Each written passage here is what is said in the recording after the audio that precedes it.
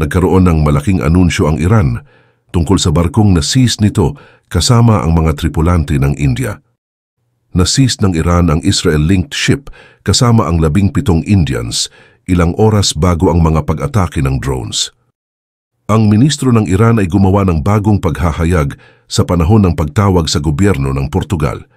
Ang mga tripulante ng isang barkong nauugnay sa Israel na kinuha ng Tehran ay malapit ng ilabas ayon sa Iranian media. Iniulat ng Iranian media na ang consular access ay ipinagkaloob sa mga tripulante. Ang sasakyang pandagat na MSC Aris ay isang barkong may bandera ng Portuges at inagaw ng Iran noong ikalabing tatlo ng Abril. Ang foreign minister ng Iran ay nagkaroon ng tawag sa telepono sa kanyang Portuguese na katapat sa issue. Makataong issue ng pagpapalaya sa mga tripulante ng barko na seryosong alalahanin para sa atin. Pagpapahayag ng ministro ng Iran. Idinagdag ni Amir Abdullahian ng Iran na ang mga tripulante ay ibibigay sa kanilang mga envoy sa Tehran. Gayunpaman, hindi tinukoy ng mga ulat ng Iranian media kung kailan magaganap ang handover na ito. Ang barko ay naagaw ng puwersa ng IRGC ng Iran noong ikalabing tatlo ng Abril, ilang oras bago ang pag-atake ng Iran sa Israel. Ayon sa Iran's Foreign Ministry, kiniklaim nila na naseize nila ang MSC Ares dahil sa paglabag ng batas pandagat. Ang barko na nasamsam sa Strait of Hormuz ay mayroong 25 tripulante, kabilang ang 17 Indian. Isang babae sa 17 ang umuwi noong ikalabing walo ng Abril, pagsasaad ng gobyerno tungkol sa iba pang mga detalye noong ikadalawamput-lima ng Abril. Tungkol naman sa tensyon sa pagitan ng Iran at Israel, ang development ay naganap sa gitna ng mas mataas na tensyon sa pagitan ng dalawang magkaribal na bansa sa Middle East. Tumindi ang tensyon sa pagitan ng Iran at Israel matapos ang pag-atake sa embahada ng Iran sa Damascus ng Syria. Ang pag-atake ay pumatay sa pitong miyembro ng IRGC at sinisi ng Tehran ang Tel Aviv sa airstrike. Noong ikalabing tatlo ng Abril, naglunsad ang Iran ng airstrike sa Israel gamit ang mahigit sa tatlong daang drones at missiles. Noong ikalabing siyam ng Abril, iniulat na inilunsad ng Israel ang drone strike malapit sa isang military base sa Isfahan ng Iran. Ang salungatan ng Iran at Israel ay nagdulot ng pangamba sa mas malawak na salungatan sa gitnang silangan.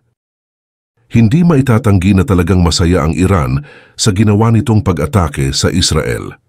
Ayon sa isang bagong balita, pinasalamatan ng Supreme Leader ng Iran ang mga Iranian soldiers dahil sa matagumpay na operasyon laban sa Israel.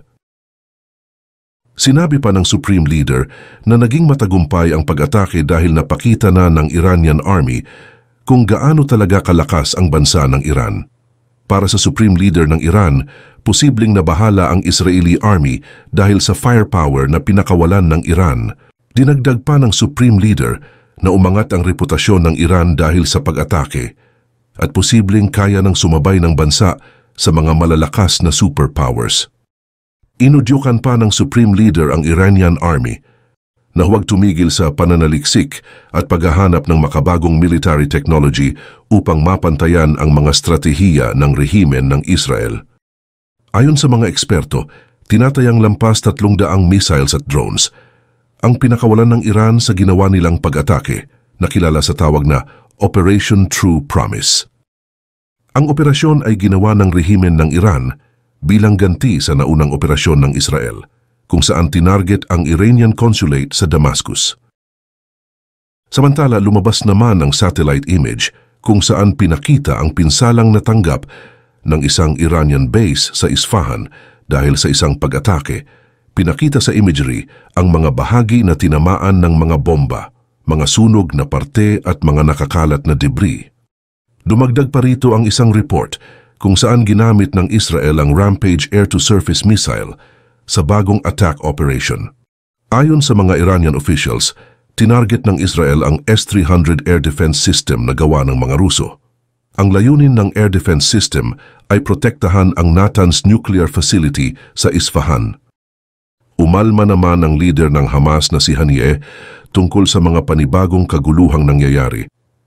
Ayon kay Haniyeh, responsable ang Israel dahil sa ginawa nitong pag-atake sa Iranian consulate at dahil na rin sa mga iba't ibang karahasan at pangaagaw ng teritoryo.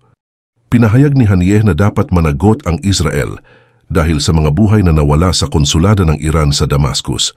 Para kay Haniyeh, binaliwala ng Israel ang polisiya ng strategic patience kung saan may balanse sa gitna ng mga bansa sa Middle East.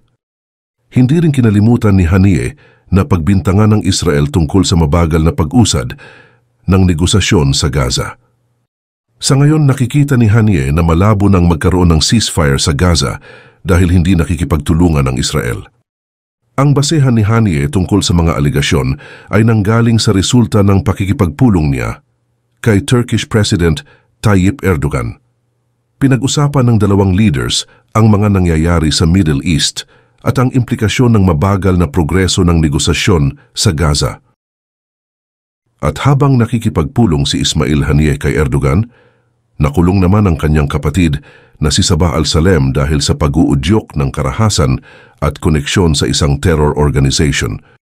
Ayon sa indictment kay al-Salem, nagpadala ng mga mensahe ng pagpupuri si al-Salem sa kanyang mga contacts tungkol sa ginawang pag-atake ng Hamas noong October 7.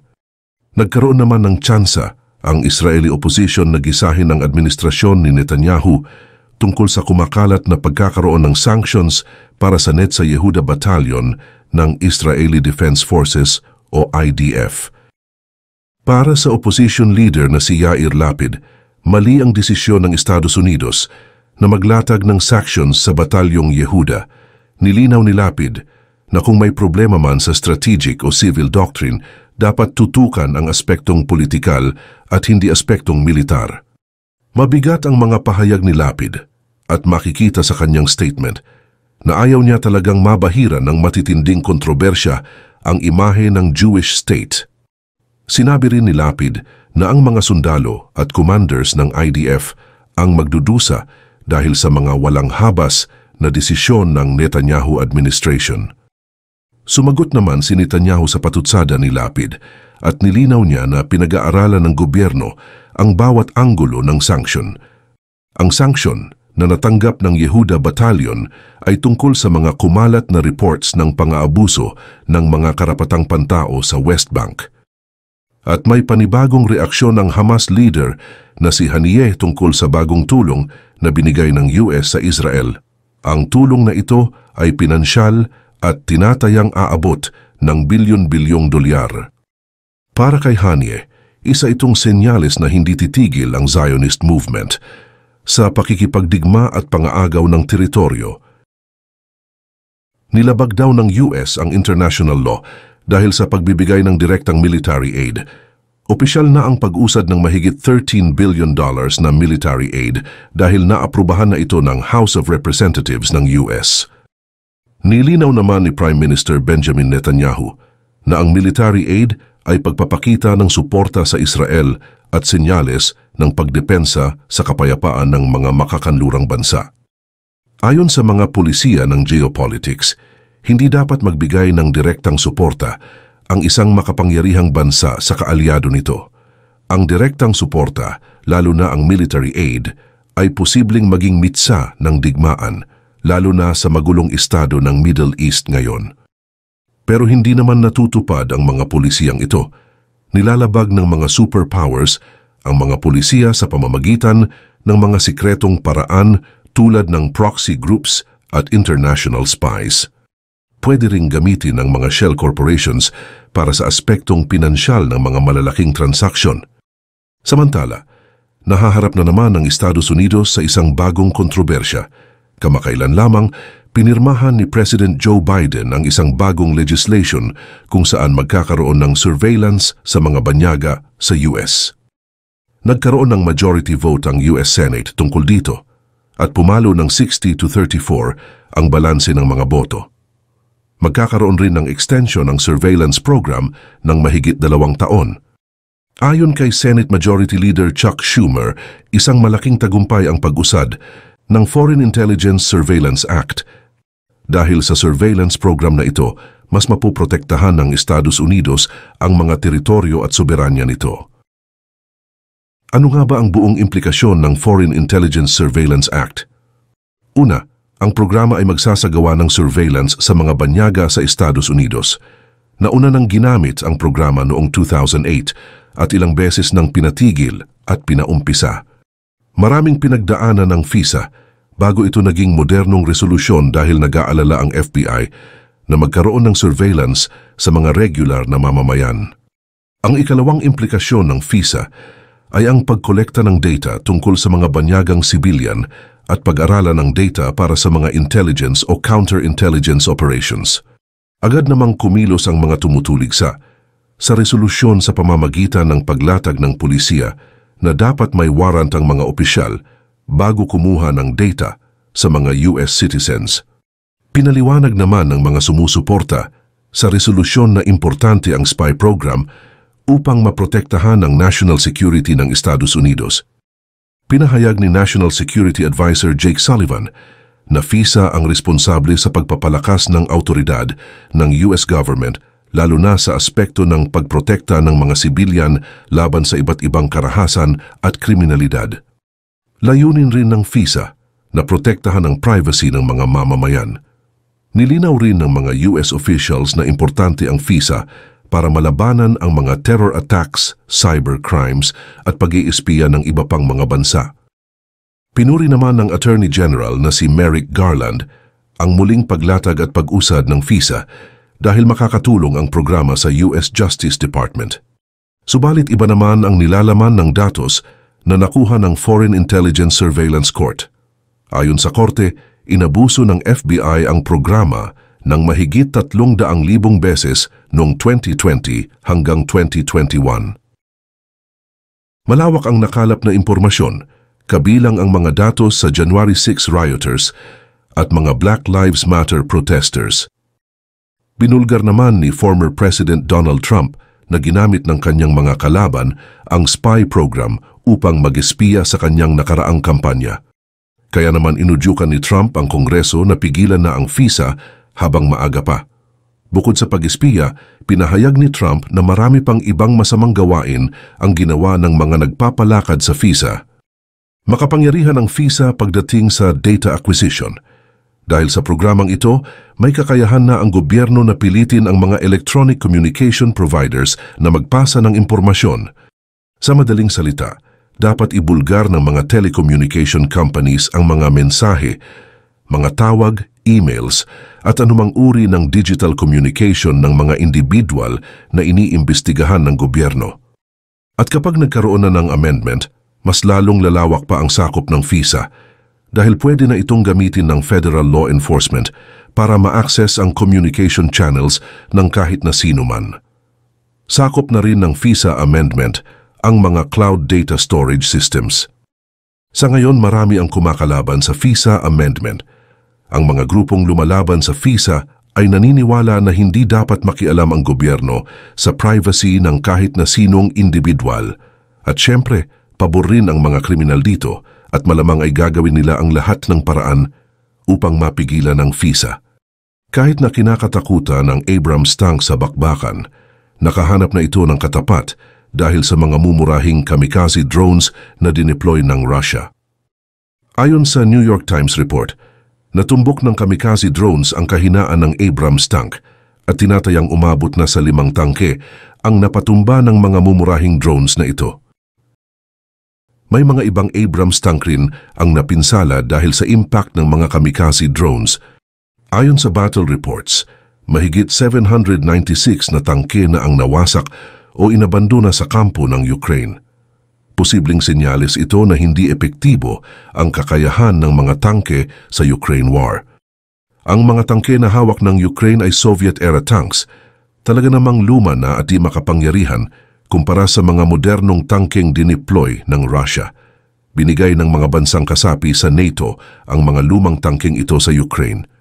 Gumamit rin ng German-issue Leopard tanks ang Ukraine at malaking porsyento ng mga tanks na ito ang napabagsak na rin. Sa panig naman ng Russia, mahigit dalawang libong tangke na rin ang nawasak pero ayon naman sa Ukraine, ang bilang ay tinatayang aabot pa ng pitong libo. Maraming kahinaan ang isang tangke. Kahit na malakas ito at nakakatakot sa digmaan, madaling mawasak ang tangke kapag tinira ito ng missile sa ibabaw at delikado rin ang rear engine block kung saan posibleng sumabog ang tangke ng mabilisan. Hindi rin matibay ang espasyo sa gitna ng main hull at turret. Kapag natamaan ito, tustado ang mga tank crew at di nauusad ang tangke. Madali ring mapantayan ang mga tangke sa pamamagitan ng landmines, improvised explosive devices, RPGs, at anti-tank guided missiles. At nang dumating ang mga drones, tuluyan nang nagbago ang digmaan para sa parehong kampo.